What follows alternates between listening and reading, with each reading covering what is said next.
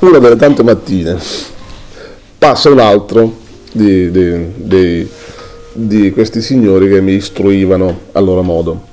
Io ero, ero appoggiato a un muro, così, incazzato nero, col mondo naturalmente, e pioveva a dirotto.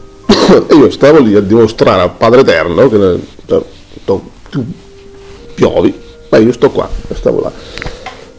Passa il classico vecchietto, immaginate il vecchietto che passa con l'ombrello così, si ferma, mi guarda e fa, incazzato, no?